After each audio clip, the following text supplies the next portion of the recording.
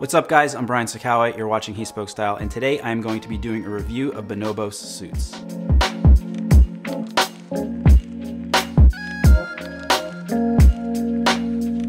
Just to be upfront, I did do a paid partnership with Bonobos on the website and on Instagram. The suit I will be reviewing in this video was provided to me by Bonobos. However, this video was not included in our agreed upon scope of work for the project, so my thoughts here are completely my own, my honest opinion, no brand talking points. I wanted to do this review because I know a lot of you out there are looking for quality suits at a decent price point, and Bonobos is one of those companies that is always in the conversation, always in the mix when it comes to the 500 to $1,000 price range. I'm really thankful to have had the opportunity to work with the brand. I've also been very curious about Bonobos for a number of years. So I'll talk a little bit about the brand, go over the specific details of the specific suit that I got. I'll talk about fit, fabric, the pros, the cons, and finally, whether or not I think Bonobos is worth the money. So Bonobos was founded in 2007. The original mission of the brand was to make pants that actually fit well. Obviously, that has worked out for them, and they have since expanded into shirts, suits, formal wear, and a whole lot more. Everything is done online. There are brick and mortar locations around the country. However, you can't actually go in and come out with anything. They call these guide shops, and the purpose is to match you with the right fit and get you up close and personal with the styling. If you like something you see, you place an order and it shows up on your doorstep. Shipping is free, whether that's to you or if you are returning it.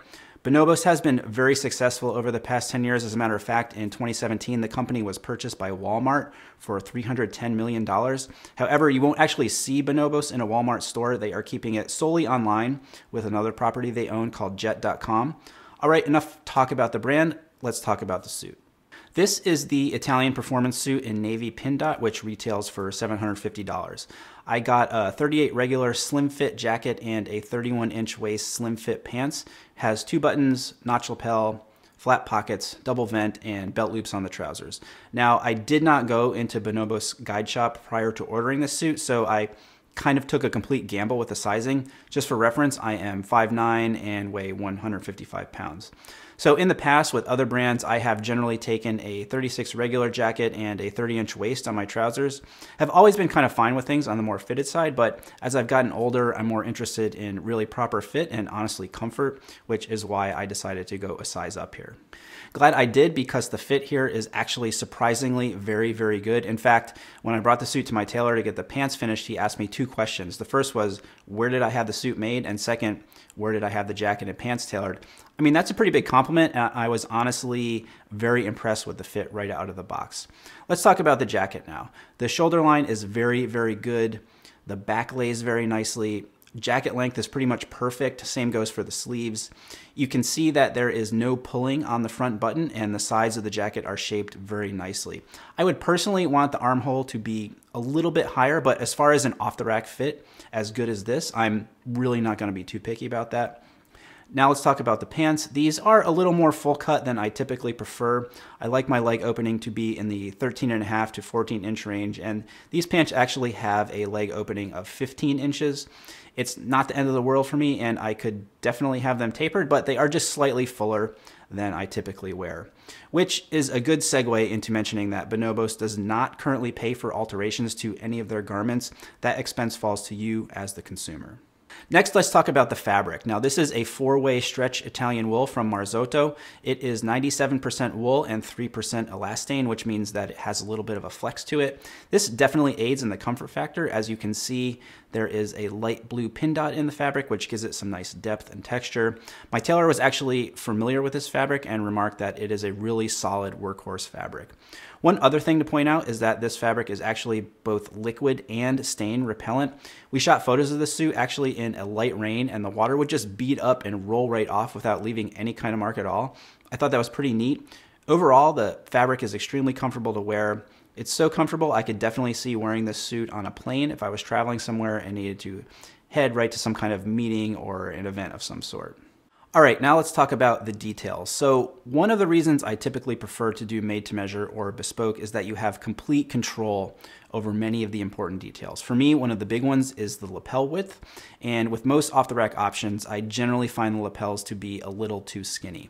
Not so with this jacket. The lapel width is pretty darn close to the three and a half inches that I typically prefer.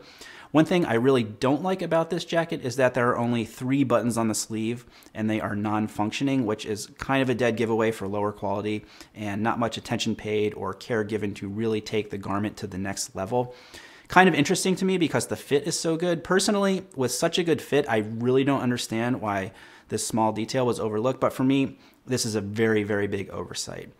One kind of other weird feature of both the jacket and the pants is the presence of this hidden zipper pocket.